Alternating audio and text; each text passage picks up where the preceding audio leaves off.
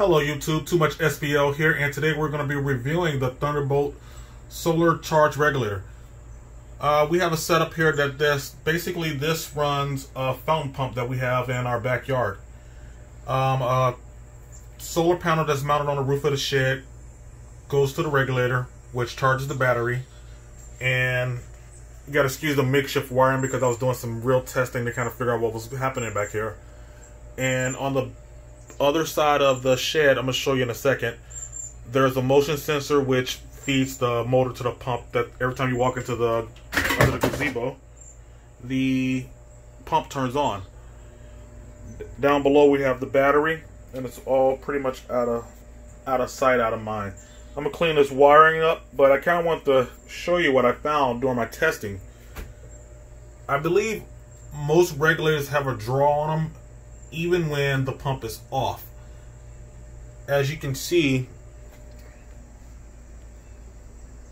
the pump isn't on and this regulator is drawing pretty much um, 0.07 amps basically. Uh, actually at one point it was uh, 0.09 before I started the video. And you got to kind of factor this in and parasitic draws even when nothing's have a has a has a load on it basically. So I'm kind of kind of sneak around here. I don't want to trigger the motion sensor to turn the pump on. Well, actually, I don't really think it matters. But I'm going to kind of come out here the best I can to show you that the fountain actually isn't on yet.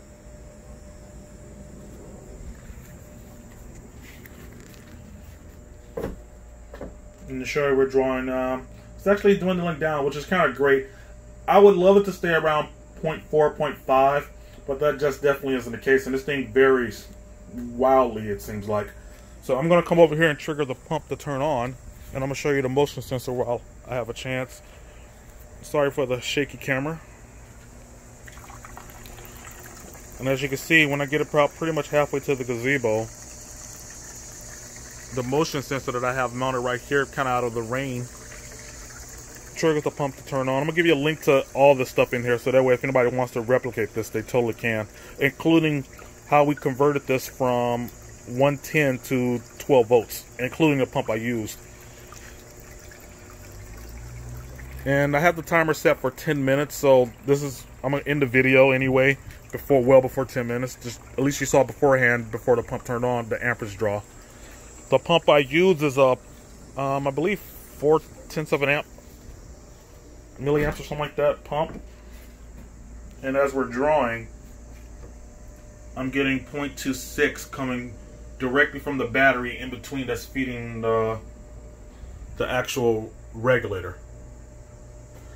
All in all, this has been a decent regulator. I'm actually going to probably swap this out and try one of the cheaper digital ones that's on eBay to give an A-B comparison to see if this is really good or not because I'm not too in love with the amperage draw.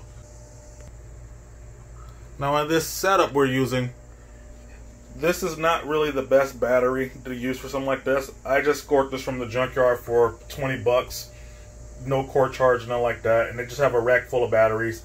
And you bring your load tester. They actually have a load tester in there of course. And whichever one is the best, that's the one you buy. Now we have our panel mounted basically on the roof of the shed, and I'll give you a peek at that right now.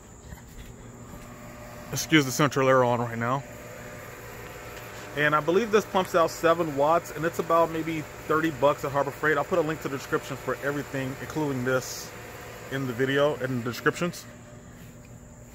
And all in all, it's been a great system. I, I gotta admit, I like to kind of learn how things work and learn what they're doing and what they're not doing because this is my first kind of solar adventure to begin with. And doing my first testing, um, I kind of tested, I was curious, was the motion sensor actually drawing power with the um, with the pump off? Remember, this load basically always has 12 volts on it. It's connected to the load. And this always has uh, 12 volts pumping out of it, even if um, nothing's drawing.